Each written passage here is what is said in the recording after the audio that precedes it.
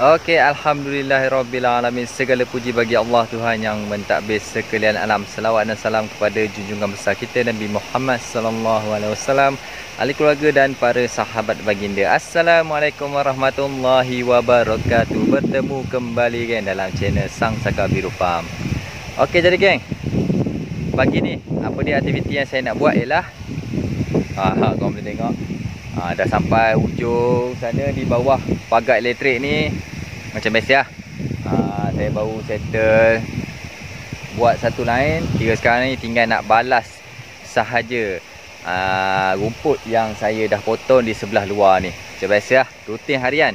Kira, eh, rutin harian pula dah. Kira rutin ha, bulanan lah. Kira anda kata rumput saya ni dah mula touch saya punya pagar elektrik ni memang saya perlu mesin lah di bawah aa, rumput yang saya tanam ni. Untuk tak nak bagi aa, bersentuhan dengan saya punya pagar elektrik kerana boleh menyebabkan aa, kerana boleh pula dah.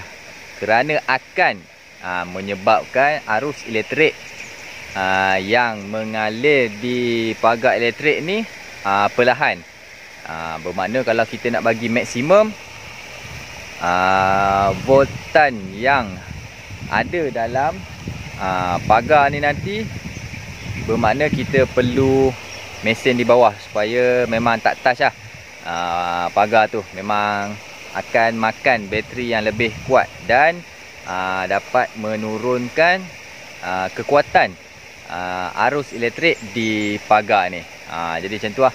Saya dah siap mesin sikit kira tinggal sikit lagi untuk saya sampai di sebelah. Ha, sini lah. Macam biasa lah ni kira rutin bulanan saya. Sekarang ni rehat dulu. Dah hampir 45 minit dah saya mesin. Kira santai-santai lah tengok. Ha, ala-ala air terjun kan. Macam di sebelah sana korang boleh tengok. Wih serius geng. Memang tak done Rumput. Ni minyak habis. Saya clearkan di sampai Saya clear di sebelah sana pula. Sampai di sebelah sana rumput di sebelah sini pula naik. Oh memang tak dan di sebelah sana. Sebab saya fikir kot kalau saya lepas lembu saya takut lembu tu berpecah. Kan susah pula saya nak tambat dia balik. Tapi tak apa lah nanti saya akan fikir-fikirkan dulu macam mana. Jadi untuk hari ni okay, saya settlekan di bahagian ni dulu. Jom. Korang teman saya dulu untuk saya mesin sikit dan saya nak kutip uh, rumput. Okey, jom.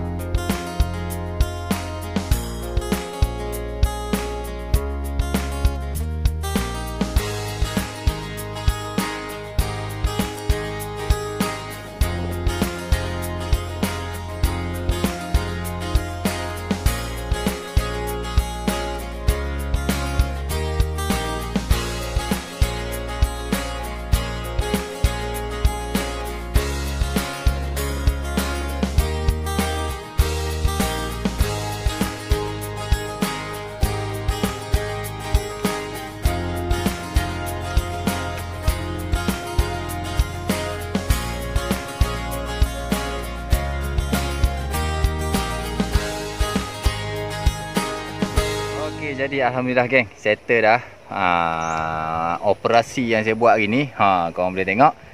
Ha, Kira dia straight ha, Sampai hujung. Untuk jaga ha, Arus elektrik ni Lebih ha, Lancar. Kalau dia touch sokmo ha, Dia akan Kurang tenaga ha, Elektrik. Untuk dia mengalir ha, nanti kalau mungkin kalau ada lembu nanti mungkin tak akan jadi efek kepada uh, lembu tu lah. Jadi macam ni lah. Ha, ni napi pandang saya yang saya dah siap. Uh, tuai baru ni. Kira ni dah naik baru. Tak ada nak letak baja. Baja tak ada. Ha, jadi macam tu lah. Bukannya isu napi pandang yang saya nak sembangkan hari ni adalah uh, saya buat macam tu lah. Mana setiap rutin saya 2 bulan sekali ataupun sebulan setengah. Ha, saya tengok uh, rumput dah mula bersentuhan dengan saya punya pagar memang saya akan mesing di sekeliling bawah aa, pagar ni lah. Jadi kepada korang yang tengok video ni sampai habis saya ucapkan terima kasih banyak-banyak. Semoga bermanfaat dan dijadikan satu pedoman kepada korang semua apabila korang nak pakai aa, pagar elektrik di kebun korang nanti. Jadi macam tu geng. Jumpa di next episode geng. Salam Sam Sakabiru Farm daripada saya. Assalamualaikum warahmatullahi wabarakatuh.